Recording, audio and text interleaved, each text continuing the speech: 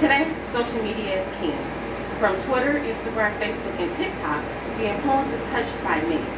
Journalist Ani Petrosyan, who graduated from Yerevan University, wrote in article Statista in 2024, 5.7 billion, or 62% of the world's population, were social media users. Quick connectivity and convenience is great, but the use of social media has made a downcast on productivity, mental well-being, and social connections. We live in a society that has become increasingly digitized. It has become evident that social media has its benefits, but it also has its downsides. From students, teachers, parents, and children, social media use is among all demographics. The vast amount of each social media, the vast amount of reach social media has, has made has made this discourse important to everyone since its availability is relatively accessed by all. I come to you not as a social media, not as just a speaker, but as a social media user as well. It is with personal experience that I approach this topic, willing to share my insights to help guide you to healthy digital use. Social media has numerous benefits, but its overuse can lead to negative consequences. There is a need to limit social media use to safeguard our mental health and preserve our personal relationships and productivity. Limiting your use of social media should be a proactive habit you all practice. Today, we will be going over sleep disruption, productivity loss, and how social media use can affect our mental health.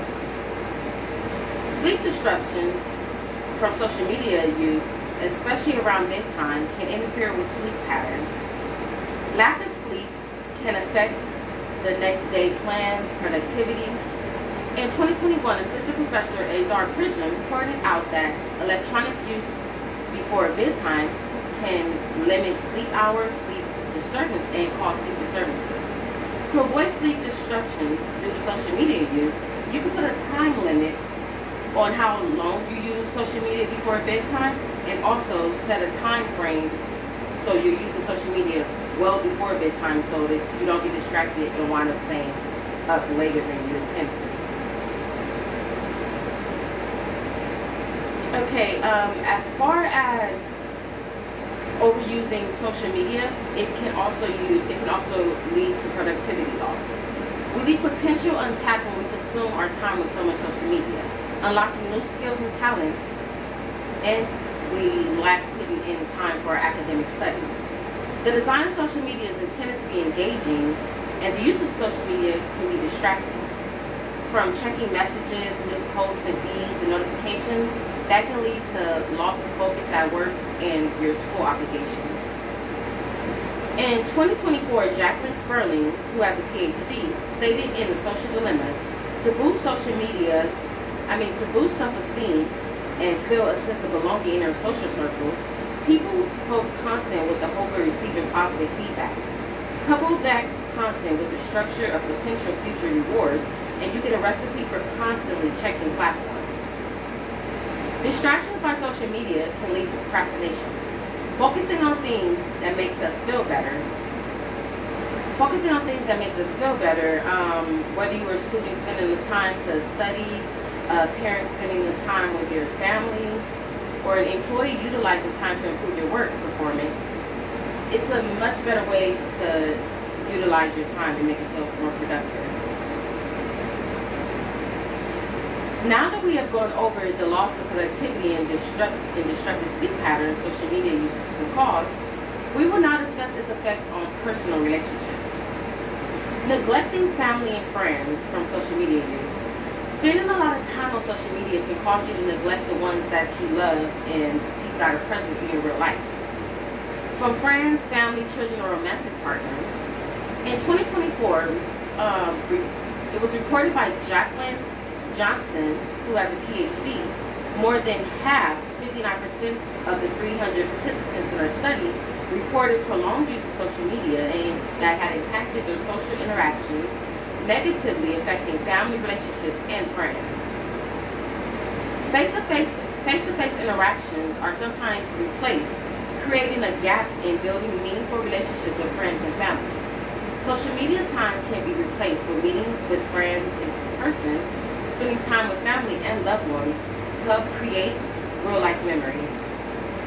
Now, let's turn our attention to the impact social media has on our mental health. Exposure to content and cyberbullying that is like very dense on social media. Social media exposes consumers to trolling, bullying, inappropriate content, and cyberbullying. It also has a negative impact on the way that we see ourselves. It can cause anxiety, depression, and body image issues. The pressure to present a perfect image of your life on social media can lead to anxiety. Depression can develop from constant exposure to seemingly perfect lives of everyone on social media, causing you to compare yourself to what you see others living what we, what we assume is a perfect life. Dr. Barbara Ghiozza mentioned in her study, for the last 30 years, media, social media has been overexposing people to thinness, idol, thinness, body idols starting from a young age, turning this idol into a new preference standard. With that being said, I am not suggesting cutting social media off completely. A complete disconnect is not necessary. Social media offers a, a platform to entertain, connect with others. However, it is a tool that should be used responsibly. Social media has numerous benefits, but its overuse can lead to negative consequences. Social media should be limited. You should minimize its use to safeguard your mental health preserve your personal relationships and productivity. Exploring overuse of social media, exploring the use of social media is detrimental effects can promote healthy digital use. Replacing or limiting time on social media can open a door to new activities or reactivate previous interests you had. Setting the time limit for social media use, socializing in person more, will make you have will help promote a more healthier healthier well-being and mind frame. We have gone over social media use negative. We have gone over social media's use negatively impacting negatively impacting our mental health, personal relationships, and lost productivity due to its overuse of the platform. In conclusion, while the use of social media is entertaining and it should not, but it should not overshadow productivity, mental health, or replace in-person social life interactions. Limiting, limiting the use of social media will benefit you and enrich your life, your real life, offline. We're not doing it again.